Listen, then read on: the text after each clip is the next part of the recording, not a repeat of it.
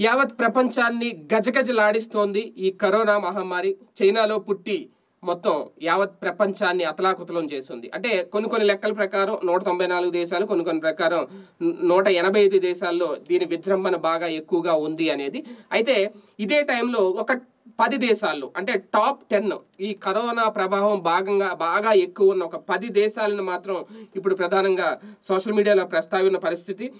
ఇప్పటికే అగ్రరాజ్యంగా ఉన్న అమెరికా ఇప్పుడు కరోనా కేసుల్లో కూడా ఒక అగ్రభాగానికి చేరిపోయింది. టాప్ వన్లో ఇప్పుడు అమెరికా దేశం నిలబడింది అనేది ఒక లెక్క.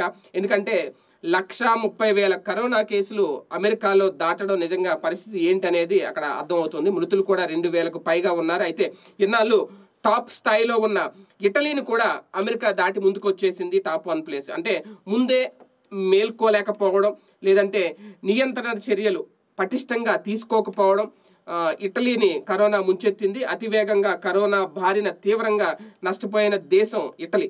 ఈ వైరస్ ఇటలీలో తీవ్రంగా వ్యాపించింది. ఇప్పటివరకు తొంభై రెండు వేల కరోనా పాజిటివ్ కేసులు నమోదయ్యాయి ఇటలీలో. అయితే మరణాలు కూడా పెద్ద సంఖ్యలోనే ఉన్నాయి. ప్రస్తుతం ఆ దేశంలో పరిణామాలు ఆందోళనకరంగా కొనసాగుతున్న నేపథ్యం. ఎందుకంటే చైనాలో పుట్టి విలయ తాండవం చేస్తున్న ఈ వైరస్ మొత్తం ఎంతోమంది బలయ్యారు. దీని బారిన పడి కేసుల సంఖ్య మాత్రం ఎనభై వేలు దాటింది. మృతులు మూడున్నర వేలకు పైగా ఉన్నారు చైనాలో. వీటితో పాటు స్పెయిన్ అలాగే జర్మనీ ఫ్రాన్స్లో కూడా కరోనా ప్రభావం తీవ్రంగానే కనిపిస్తుంది.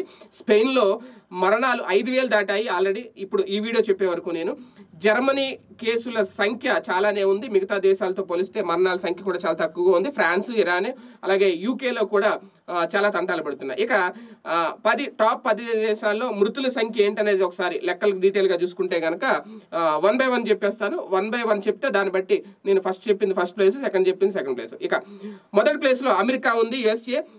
ఇక్కడ మృతుల సంఖ్య చాలా భారీగానే ఉంది. అలాగే ఇటలీ అలాగే స్పెయిన్ అలాగే జర్మనీ అలాగే ఫ్రాన్స్ అండ్ ఇరాన్ అలాగే తర్వాత ఎనిమిదో ప్లేస్లో యూకే ఇక తొమ్మిదో ప్లేస్లో స్విట్జర్లాండ్ పదో ప్లేస్లో నెదర్లాండ్. మొత్తం ఈ పది దేశాలు top one two three four five six seven eight nine ten అనమాట మొత్తం. ఈ టాప్ పది దేశాలు ఇప్పుడు కరోనాలో నెంబర్ వన్ పొజిషన్లో ఉన్నాయి. బై లెక్క మనం ఈ వీటి స్థానాల్లోకి మనం వెళ్ళకూడదని కోరుకుందాం. వెళ్ళదు కూడా ఇప్పటికే పూర్తిగా కంట్రోల్ అయిపోయాం కాబట్టి ఒక రకంగా మన ఇండియా చాలా సేఫ్ జోన్లో ఉంది.